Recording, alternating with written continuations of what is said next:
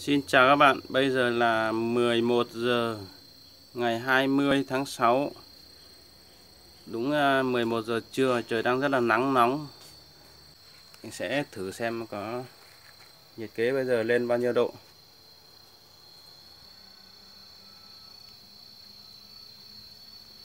Bây giờ đúng 11 giờ trưa nhá. Nhiệt kế lên à, 46 độ rồi đây này các bạn ạ, vạch đỏ đây này, 46 47 rồi. Đúng ngoài trời đấy. Đi vào nắng. Bây giờ là lên à, 46 độ này. Mình có để cái chảo đây và mình sẽ dán thử quả trứng xem có chín không. Chảo này mình có đựng nước nha, bây giờ mình chứ không phải là chảo nóng trước đâu, mình đựng nước đây này, bây giờ mình sẽ đổ nước đi. Đổ nước đi xong rồi mình sẽ cho quả trứng vào đây.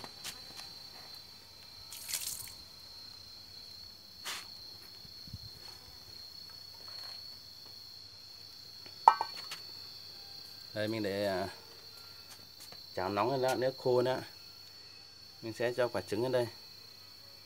Xem trứng có chín được không.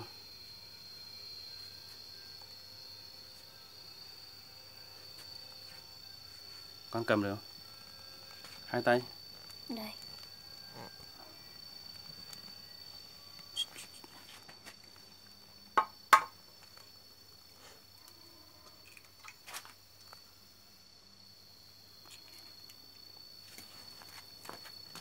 Nhà này sẽ đợi xem bao nhiêu lâu, quả trứng sẽ chín này này.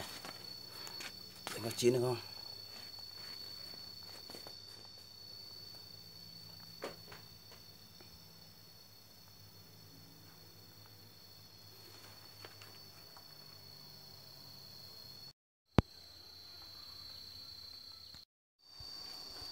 Sau hơn 30 phút mình quay lại, Quả trứng bắt đầu chín rồi các bạn ạ và trên lúc này mình để dưới nền bây giờ mình cho lên cái nắp bể này.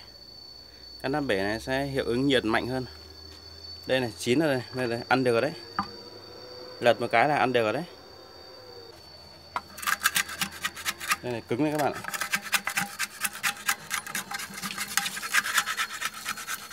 Lật cái mặt lật cái lần cái lật mặt trên này xuống một cái là ăn được đấy. Lại một tí chín là ăn được.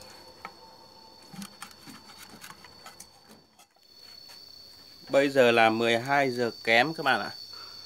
Nhiệt độ bây giờ là 47 độ. Mình không biết cái này có chính xác không nhưng mà đây là cái nhiệt kế phòng đây này. Made in China.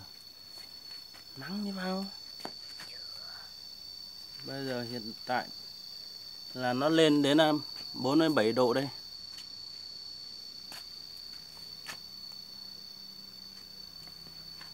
Trời nắng trang trang